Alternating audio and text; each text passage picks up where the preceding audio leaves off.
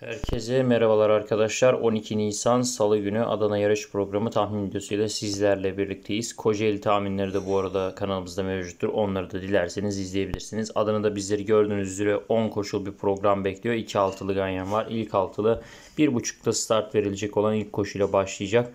İkinci altılı ise 5. koşuyla saat 3.30'da start verecek arkadaşlar. Dikkat edelim bu saatlere. Biri kum pist olmak üzere 9 adet çim yarışı ile birlikte 10 koşul bir program var. İlk yarışta başlıyoruz. 1.30'da şart 3 4 yaş şarap atları 1900 çim pistte çıkacaklar.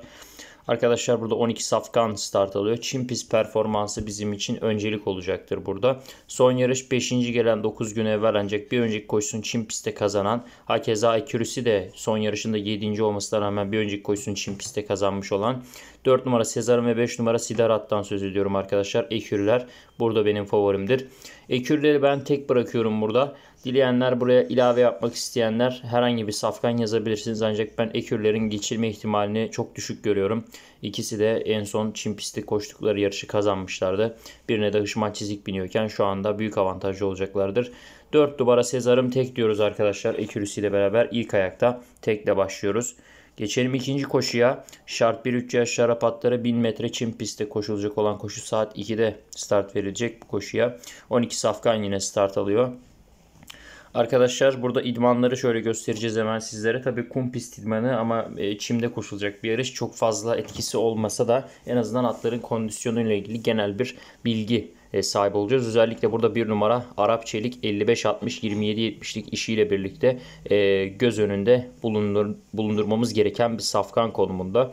Geriye kalanların işlerinin çok iyi olmadığını söylememiz lazım. Burada bir, bir tane safkan sadece Şanlıurfa'da çalışmış.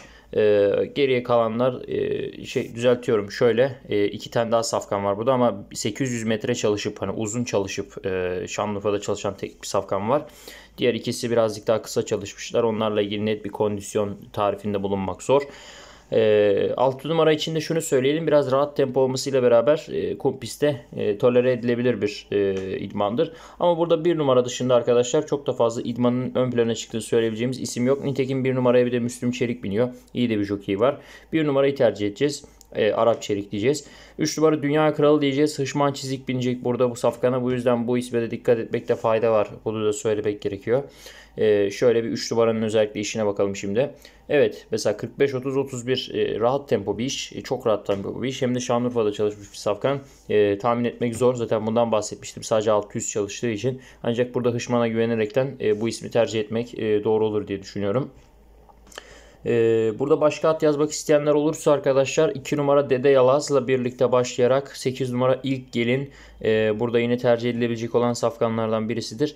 Genişletmek müm- mümkündür burada bu kuponu bu şekilde ama 1 ve 3 numara önceliğimizdir. Hem jokeyleri hem de e, işlerinden ötürü diyoruz ve geçiyoruz 3. koşuya. Şart 3, 3 yaşlı İngilizler 1800 çim pist yarışı. Bir hafta evvel çimde ikinci olan Ayan Kurşun'la birlikte bir numara Deniz Kralı Burada benim favorim arkadaşlar. Yanına da 12 numara Devina'yı düşündüm. Devina burada düşük kilo ile birlikte start alacak olmasıyla beraber son yarışı 10 gün evvel Çin pistte 3. oldu. Start aldı ilk koşusunu Çin pistte kazanmış olan bir safkan. Amana dikkat diyeyim çok ters köşe yapabilir. Ee, bu İki safkanın haricinde üçüncü bir isim yazacak olanlar El Şaif burada arkadaşlar. 6 numaralı safkan. En son 10 gün evvel Çim pistte 5. oldu. Bir önceki yarışın Çim'de 2. gelmişti. Bir önceki Çim koşusunda ise ilk e, burada 6 yarışın baktığımızda e, ilk olanı. Orada da Çim'de kazanmıştı bu safkan. Çim pist performansı gayet iyi olan bir isim. Tercih edilmesi e, çok e, mümkündür. Dileyenler bir safkan daha yazacak olanlar 8 numara Parya Müslüm Çelik'le birlikte 53 kiloda yine start olacak olan safkan Çin pistteki performansına baktığımızda 3 ve 2. geldiğini görüyoruz. Daha sonra da yine hiç tabela dışına çıkmamış bir safkan olduğunu e, dikkat çekmek istiyorum burada arkadaşlar. Bu şekilde bu safkanlarla tercihimizi bitirebiliriz burada. En geniş hali budur bu kuponun. Dördüncü koşu şart 4 4 yukarı İngilizler 1800 çim pist yarışı 16 gün evvel çimde bir ikincilik elde eden Müslüm Şerik'le birlikte 55,5 kiloda Kereme ile 2 numaralı safkan arkadaşlar. Burada benim ilk önereceğim safkan sizlere. Yanına Işman Çizim İnci'ye 11 numara Lions Rose diyoruz. E, bu safkan da çim pistte en son yarışında 4. gelmişti. Onun haricinde son 3 yarışında 1-4-3 şeklinde geldi. Çok formda bir safkan çimde de gidiyor. Ben burada açıkçası bu isminde yazılmasını öngörüyorum. Hakeza bu safkan e, yine e, bir bir hafta evvel koşup 3. olmasıyla beraber e, hışman çizikli koşuyor olmasıyla beraber şanslı olacak bir isimdir. E, çok da fazla rakip olmamasından kaynaklanıyor bu şansı. Üçüncü ve dördüncü at olarak buraya eklenecek olan safkanlar konusunda arkadaşlar 10 numara Jacobin 14 gün evvel 3. olmuş bir isim. 1.49'lara düşmüş bir derecesi de var. Bu safkanı burada tercih edeceğiz. Bir de e, Yek Turenk 9 numara uzun bir arayla geliyor. 150 günlük bir ara. E, belki bir sürpriz ihtimaline karşı yazılması e, muhtemeldir arkadaşlar. Daha fazla at yazmak isteyenler varsa çok daha büyük bir sürpriz olarak e, 4 numara Ataberk son yarış performansı çok kötü olmasına karşın 1.49'lara düşmüş olan bir derecesi olmasından ötürü belki ya gelirse diye e, geniş kuponlarda tercih edilebilir diyorum. E, ama burada önceliğimiz 2 numara Kereme ile e, ve 11 numara Lions Rose'da arkadaşlar. Devamında da 9 numara ve 10 numara e, genişletmede önceliktir diyorum. Geçiyorum 5. koşuya. 14 handikap. 4 yukarı Arap atları 2000 mesafe Çin pistte çıkacaklar. Yine burada arkadaşlar 17 gün evvel ikinci olan Çin pistte ve Çin pistteki bir önceki yarışında kazanmış olan Malya Güzeli 6 numaralı safkan arkadaşlar favorimdir. 6 numaranın yanına e, ee, 7 numara Şeker Sultan uzun arayla geliyor. Çim pistteki performansı iyi olan bir safkan tercih edilebilir. 16 gün evvel Çim'de yine çıkıp 5. olan bir safkan Müslüm Çelik'le birlikte 52,5 kiloda 8 numara ateş muhafızı bir diğer tercih olur diyorum buraya. Daha fazla bir tercih düşünmedim. İlave etmek istediğiniz varsa yazabilirsiniz. 6, 7, 8 diyorum buraya arkadaşlar. Dileyenler burada başka safkanlara da yönelebilirler. 2 numara Galata Kulesi gibi e, bir safkan mesela burada tercihen yazılabilir. E, ilave yapmak isteyenler veya Handassa gibi bir safkan ilave edilebilir buraya.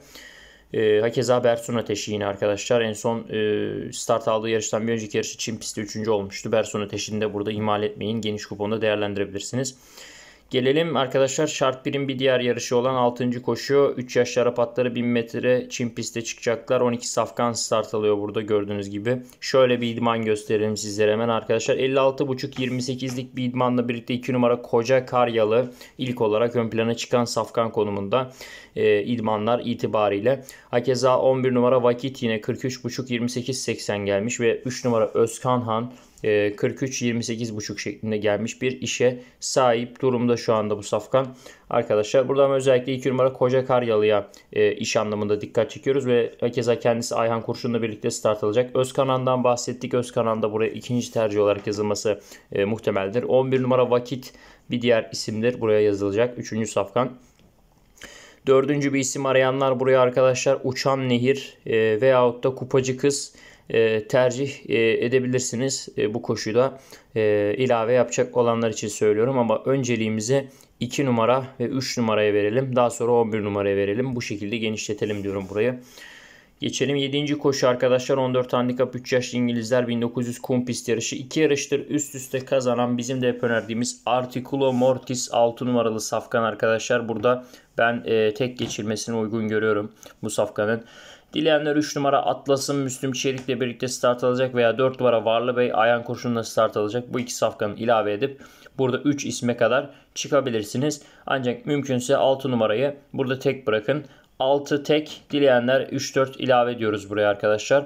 3 numara son yarış 3. geldi 17 gün evvel. Ee, Varlı Bey'de bir hafta evvel Çin pistte start aldı. Daha evvelki yarışlarında iki kez üst üste ikinciliği var ve tabela performansları var gördüğünüz gibi. Geçelim 8. koşuya. Şart 4, 4 yukarı Arap atları 1300 mesafe Çin pist yarışı. Arkadaşlar burada e, ben ekürleri e, ön planda görüyorum. Ve ekürleri tek veriyorum. O yüzden bir önceki koşuda tek geçmek istemiyorsanız dediğimiz ilaveleri yapın. E, bu koşuda tek geçin. Ekürler diyoruz.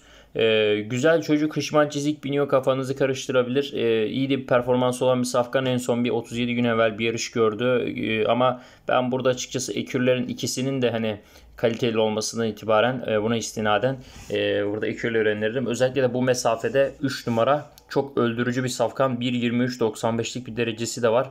E, kısa mesafelerde derece çok önemlidir biliyorsunuz ki. Arada bir kilo farkı da yok yani 1 kiloluk sadece bir e, fark söz konusu 6 numaraya kıyasla. 3 numaranın bir de ekürisi olacağı için e, ben burada 3 numara Alderamin tek diyorum arkadaşlar. Bir önceki koşuda tek geçmek istemeyenler oraya ilave yapıp burayı tek geçebilirsiniz diyorum. ikinci altılı ganyan için. 9. koşu şart 1'in diğer bir kısmı 3 yaşlara patları 1000 metre çim pistte 12 safkanın start alacağı koşuda. Arkadaşlar şöyle idmanları gösterelim.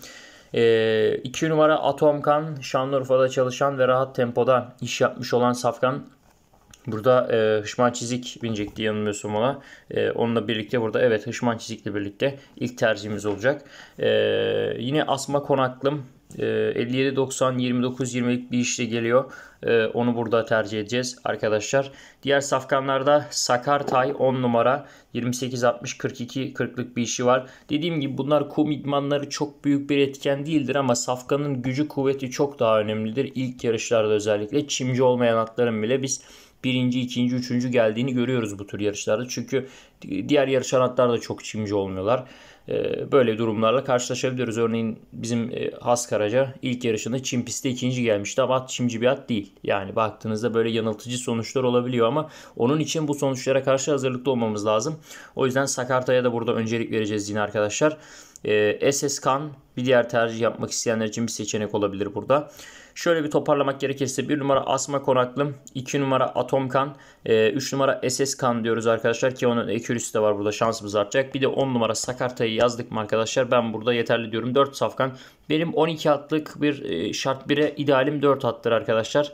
Ne küçüktür ne büyüktür tam ortasında böyle e, iyi gelir diyorum bu kadar safkan yazmak. Geçelim 10. ve sonuncu koşu 14 handikap 4 yukarı İngilizler 1300 çim pist. Arkadaşlar uzun arayla gelen Endless Seas 6 numaralı safkan burada ilk tercihim olacak benim. Çünkü rakiplerinin Çin performansına kıyasla kendisi burada bir adım daha önde gözüküyor.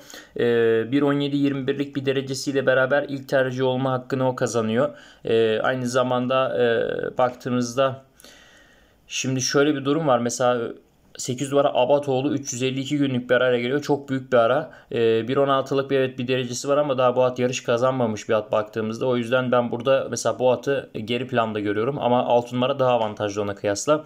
Öte yandan bir diğer isim yine e, 1.17-25'lik bir derecesi olan 3 numara Cülük arkadaşlar. Bu da 3 numara Cülük'ü de yazın derim.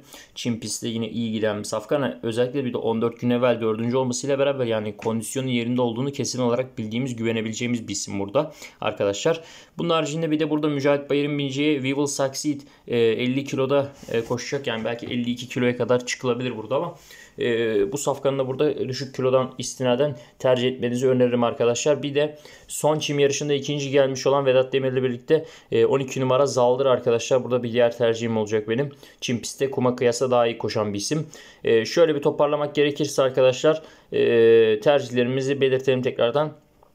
3 numara, 6 numara, 9 ee, numara ve 12 numara diyoruz arkadaşlar. Dileyenler başka hatlarda yazabilirler diyorum buraya ilave yapabilirler.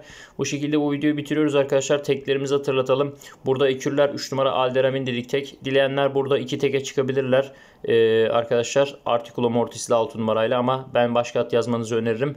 Diğer e, tekimizi de tekrardan e, burada hatırlatalım arkadaşlar. Ee, burada Kerem Eyle'den bahsetmiştik. Özellikle burada Devina El Şaif dedik. Ee, gayet güzel safkanlar var bu yarışlarda arkadaşlar. Aman dikkat diyeyim. Burada yine şart bir bir yarışıydı. Ee, burada da arkadaşlar evet e, ilk altılı da e, yine ekürler tek diyoruz. Yani iki altılı da ekürleri tek geçiyoruz arkadaşlar baktığımızda genel olarak. Kocaeli videosu da yayındadır. Onu da seyredebilirsiniz. Abone olmayı, videoyu beğenmeyi unutmayın diyorum. Ve herkese de arkadaşlar bol şanslar diliyorum. Dilerseniz de katıl olursanız çok seviniriz diyorum. Tekrardan bol şanslar.